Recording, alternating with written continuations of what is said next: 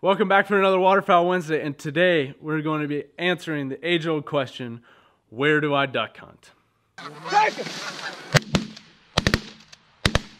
Okay, so I'm not going to be answering the question where I duck hunt today because I'm not going to tell you where I duck hunt because what person tells you where they, one, catch big fish, or two, kill a lot of ducks. That's just against the rules. So what I'm going to be doing today is telling you where you can find places to duck hunt and possibly have very successful hunts. First things first, I would say to go over to your State Department of Wildlife's website. I know in Kansas it's ksoutdoors.com and look at the migration reports.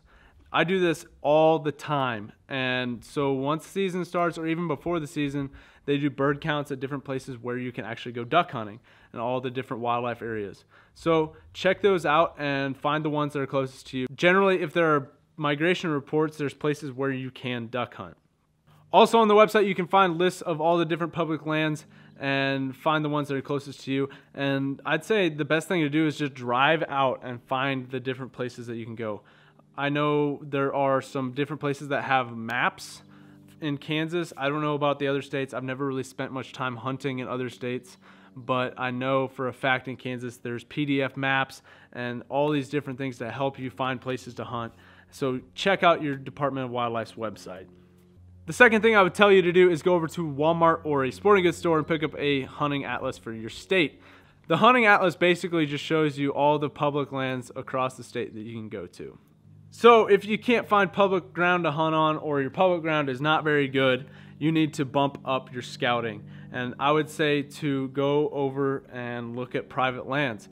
And I will make another video talking about how to approach landowners and get permission to hunt on their properties. But long story short, the easiest thing to do is find areas where there are birds. Like you know there are birds in this area. Like there's a wildlife refuge here, but they don't go to where we hunt on the public ground.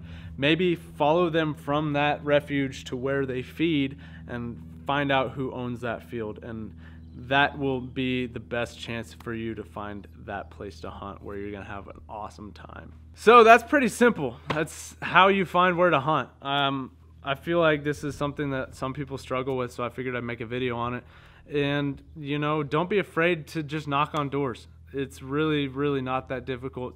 The worst thing that they're gonna tell you is no, and you just say thank you, and you walk away, and you go on to the next property that you think you're gonna have a good time at. So public ground, private ground, it really doesn't matter. Scout hard and find those birds and you'll be having a heyday.